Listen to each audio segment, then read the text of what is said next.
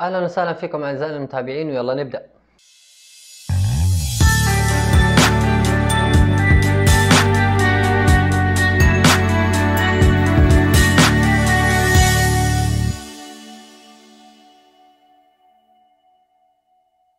أهلا وسهلا فيكم مرة ثانية أعزائنا المتابعين في الجزء الأول من حلقة الرد على أسئلة المتابعين. طبعا الحلقة هذه حتكون عبارة عن ثلاثة أجزاء. أيوه ثلاثة أجزاء. فاللي ما لقي سؤاله في الجزء هذا ينتظر للجزء الثاني واللي ما لقي ينتظر للجزء الثالث. يعني آه، حاولوا إنكم تنتظروا الثلاث أجزاء تنزل تمام؟ اللي ما لقي سؤاله في الثلاث أجزاء ديك الساعة ممكن إنه هو يرجع آه يعيد لي السؤال مرة ثانية تمام؟ لأنه صراحة آه ما شاء الله تبارك الله الأسئلة كثيرة سواء كان على اللي بتجيني على اليوتيوب أو على الواتساب أو اتصال أو على الفيس أو على الإنستغرام. فبصراحة ماني ملاحق.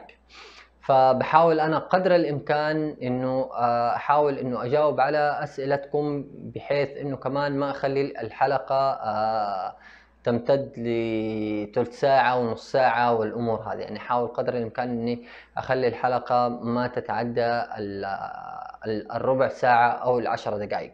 فلذلك أنا آه، اضطريت إني أبدأ أقسم الحلقة إلى ثلاث أجزاء. يعني كنا إحنا حلقة واحدة في الأسبوع أو جزء واحد في الأسبوع صارت جزئين الآن ثلاث أجزاء. وربنا يستر شكلي بعد كذا حكون الأسبوع كله رد على أسئلة المتابعين. فأتمنى منكم أنكم تعذروني آه، في حال تأخرت في الرد على أي شخص أو إنه شخص ما انتبهت لسؤاله ما ما جاوبت على سؤاله آه، يرجع يكتبوا لي تاني وإن شاء الله حارد آه، عليه في أسرع وقت ممكن. ولكن رجائي إنه ما تعيدوا السؤال إلا في حال إنه الأجزاء خلصت وأنا ما رديت يعني سؤالكم ما كان موجود. تمام؟ وفي نفس الوقت ما رديت عليكم في التعليقات فهنا بإمكانكم أنكم أنتم إيش؟ ترجعوا تعيدوا لي السؤال مرة ثانية وإن شاء الله بإذن الله حقدر إني أجاوبكم. وطبعا قبل ما نبدأ بالسؤال الأول لا تنسوا إنكم تتابعوا آه، حسابات القناة على الفيسبوك وإنستغرام وتويتر وسناب شات لأنه كمان آه، بحاول إنه أنا أرد على بعض الأسئلة اللي بتوصلني عن طريق هذه المنصات. تمام؟ بالإضافة إلى إنه إن شاء الله حيكون في بعض السنابات المفيدة اللي هي زي ما يقولوا آه بنقول فيها رؤوس أقلام مو شرط إنه إحنا آه نشرح ونفصل فيها. فممكن إنه إحنا آه نعمل بعض السنابات وننزلها على سناب شات بحيث إنه آه تعمل فائده أكثر. وبنفس الوقت سنابات مختصرة فيها بعض الأمور البسيطة والسريعة تمام؟ اللي هي ما تحتاج لشرح أو إنه آه ناس بعض بعض الإخوة ممكن يفهمها مباشرة يعني من غير ما يحتاج إنه أحد يشرح له إياها. تمام؟ لأنه زي ما قلت لكم بالنسبة لليوتيوب أنا عندي مجال أو وقت أكبر بإني أتكلم وأشرح فلذلك أنا بتجنب إني أعطي رؤوس أقلام على آه، القناة هنا في اليوتيوب بحاول ان أنا أشرح بينما الأشخاص اللي هم حابين يأخذوا رؤوس الأقلام فقط فبإمكانهم ان هم يتابعوا حساب القناة على آه، السناب شات أو على الإنستغرام حيلاقوا إن شاء الله آه، غايتهم. وطبعا آه، في صفحة خاصة على للقناة على فيسبوك وحساب القناة على تويتر آه، أتمنى أنكم تتابعون عليها وماني حاب أطول عليكم. وفي نفس الوقت قبل ما أبدأ بالسؤال كالعادة ال like يا جماعة الخير. أدعمونا ب like عشان آه، نجاوبكم أو بالأصح نجاوبكم وإحنا مبسوطين ومنشكحين عارفين؟ فيلا نبدأ بالسؤال الأول. عندنا الأخ صهيب بشير بيسأل عن القوانين الجديدة أو الشروط الجديدة بعد التحديث اللي حصل في منصة قوة بيقول الأخ صهيب هذه البنود والشروط قانونيا يعني طلعت كقرار ولا هي أخطاء تقنية في النظام وراح تتصلح أم هي شروط طلعت كقرار ورجع النظام كما هو السابق قانونا؟ لا أخي الكريم هذا دحين هو النظام المعمول فيه. الشروط هذه هي الشروط الصحيحة والمعمول فيها حاليا بعد تحديث آه، المنصة. أي شيء ثاني فهو خاطئ. هذه هي الشروط الأخيرة بعد أن تم التحديث. ما فيها يعني ما في أي أخطاء في النظام. السؤال اللي بعده السلام عليكم أخي. أنا شركتي نطاق أحمر. هل ممكن أنقل كفالة بدون موافقة الكفيل؟ أرجو الرد. أخي الكريم في النظام السابق كان بإمكانك إنك أنت تنقل كفاله حتى لو نطاق المنشأة آه، لو كان آه، نطاق المنشأة أحمر بدون الرجوع للكفيل السابق. ولكن الآن في منصة قوى الموضوع واضح. حاطين الشروط هي عبارة عن شرطين انتهاء رخصة العمل أو انتهاء الإقامة. أما عملية إنه إذا كانت المنشأة في النطاق الأحمر فأنت يحق لك تنقل بدون الرجوع إلى الكفيل. عشان أكون أنا اونست ويعني صريح معاك ما جربتها وما أدري هل حيتم لو آه أرسل لك طلب نقل كفاله هي هل حيتم نقلك مباشرة بدون الرجوع للكفيل ولا حيتم إشعار الكفيل بطلب النقل؟ صراحة ما ما حقدر أفيدك ولكن على النظام القديم كان بإمكانك بمجرد انه المنشأ نطاق أحمر تقدر تنقل عادي.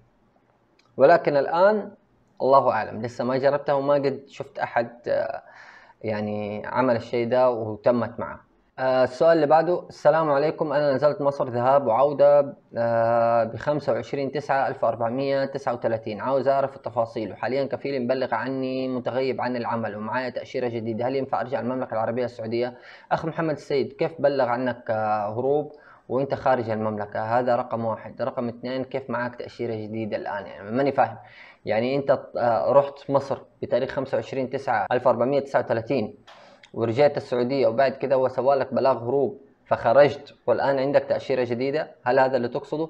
لو هذا اللي تقصده تمام؟ فقبل أي شيء آه لازم أعرف آه فترة خروجك خارج المملكة كم صار لك الآن من آه لم من بعد آه بلاغ الهروب؟ كم صار لك خارج المملكة؟ سنة سنتين كم بالضبط؟ لو أكثر من سنتين فبإمكانك ترجع بتش... بتأشيرة جديدة. أما أقل من سنتين فما أتوقع أنه حتقدر أنك أنت ترجع بتأشيرة جديدة. هذا زي ما قلت لك في حال أنه أنت آه طلعت خروج وعودة ورجعت وبعد كده سوالك بلاغ هروب فأنت خرجت نهائي من السعودية. هذا لو كان اللي حصل معك بالطريقة هذه. أما إنه سوالك بلاغ هروب وأنت أصلا خارج المملكة ما ما يصير الشيء ده أصلا. السؤال اللي بعده جزاك الله خيرا. عندي سؤال. عندي تأشيرة خروج نهائي وإقامة انتهت وجات فرصة عمل. هل ينفع أن نقدم صاحب العمل الجديد عقد عمل؟ وكيف يمكن إلغاء الخروج النهائي؟ خروج النهائي اللي أصدره يلغيه. يعني كفيلك لازم أول شيء يلغي الخروج النهائي. بعد كذا آه، العمل الجديد يقدم لك طلب نقل كفالة الخروج النهائي حيلغي كفيلك القديم عن طريق النظام حقه سواء كان آه، آه، طريق مكتب العمل أو عن طريق أبشر على حسب نوع الكفالة حقتك وبعد ما يلغي الخروج النهائي تقدر إنك أنت تتواصل مع الكفيل الجديد بحيث إنه يرسل لك آه، طلب نقل ويتم نقلك مباشرة باعتبار إنه إقامتك منتهية. السؤال اللي بعده تم نقل خدماتي من شركة إلى شركة جديدة ولكن وجدت العمل غير المتفق عليه. فهل يمكن النقل على شركة أخرى وأنا في فترة تجربة ثلاثة شهور؟ بغض النظر عن فترة إن كنت أنت فترة تجربة ثلاثة شهور ولا سنة ولا شهر بإمكانك هي تنقل لشركة آه، أخرى أو لعمل آخر ولكن بالتفاهم مع صاحب العمل الحالي تمام؟ ولا نظاما ما في أي شيء يمنع. بإمكانك ال ال الانتقال طالما أنك أنت خلال فترة التجربة ثلاثة شهور فما في أي مسؤوليات عليك من ناحية آه، عقد العمل. ولكن من ناحية الانتقال إذا كنت أنت حاليا على كفالة آه، المنشأة الجديدة فهنا ممكن يقول لك آه، إنهم يرفضوا نقلك حاليا أو شيء ما أدري. ولكن أنت من ناحية إنه تقدر تنقل تقدر تنقل. ونظاميا من ناحية العقد أنت الآن في فترة تجربة ثلاثة شهور يحق لك تسيب العمل في أي لحظة. السؤال اللي بعده جزاك الله خيرا. أنا علي بلاغ وأنا عامل اعتراض على البلاغ إنه كيدي وماشي في الإجراءات تحت الدراسة. تمام. صاحب العمل الجديد كان متفق معي إنه يبعث عقد منصة قوى. والآن قال لي هبعت على مدد. لو قبلت العقد لو قبلت العقد البلاغ يرفع تلقائيا وهل أنا ضامن حقي؟ أرجو الرد بارك الله فيك. وما الفرق؟ طبعا هنا مكمل سؤال وكاتب وما الفرق بين مدد وقوة؟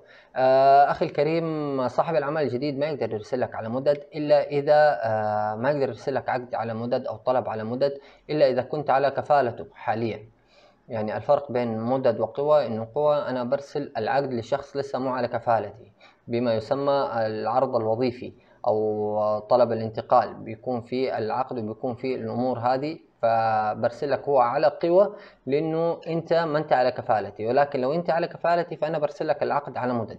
مدد بتظهر أسماء الموظفين المسجلين في التأمينات المتواجدين حاليا على كفالة المنشأة ولكن قوى لا. قوى بيظهر آه، بي بي بيعطيك إمكانية إنك أنت تسوي العقد لأشخاص خارج كفا خارج الكفالة عشان ترسل لهم طلب آه، أو طلب انتقال أو عرض وظيفي جديد. لكن يسوي لك أنت على كفالته ويسوي لك عقد على قوى ما في عقود على قوى. العقود تتعمل على مدد أتمنى إنه آه، تكون الإجابة واضحة. السؤال اللي بعده كيف أحصل على لائحة تنظيم العمل؟ أخي الكريم آه، حتدخل على حساب المنشأة في قوى وتدخل على لوائح تنظيم العمل خدمة لوائح تنظيم العمل تمام؟ حيكون في عندك خيارين إما تختار لائحة تنظيم العمل الموحدة أو إنك إذا عندك لائحة عمل معينة موجودة عندك بإمكانك أنت تختار الخيار الثاني اللي هو إنك ترفع لائحة عمل وتنتظر الموافقة عليها. فأنت عندك أحد الخيارين إما إنك تختار لائحة العمل الموحدة وهذه اللي أنا أنصح فيها تمام؟ أو إذا أنت عندك لائحة أخرى آه، حاب إنك أنت تعتمدها فبإمكانك إنك أنت تختار الخيار الثاني. تمام؟ وترفع عن طريقه وإن شاء الله يتم اعتمادها. بس كم حيأخذ وقت اعتمادها؟ الله أعلم. بينما اختيار اللائحة لائحة تنظيم العمل الموحدة هذه بيتم اعتمادها مباشرة. وبتحصل على شهادة بإنه أنت آه، لديك لائحة لائحة تنظيم عمل موحدة وبتحصل على نسخة من لائحة التنظيم هذه بحيث إنك أنت تقدر تطبعها توزعها على الموظفين تحتفظ فيها الأمور هذه كلها. السؤال اللي بعده؟ موظف منتهي إقامته يبغى ينقل على مؤسسة فردية. هل عليه رسوم مكتب عمل؟ طبعا عليه رسوم مكتب عمل. آه، جماعة الخير المؤسسة الفردية هي زيها زي شركة زي الأمور هذه. الكفالة الفردية شيء وكفالة العمل شيء آخر. الكفالة الفردية فأنت عندك رسوم تجديد الإقامة فقط ما حيكون عندك رسوم مكتب عمل.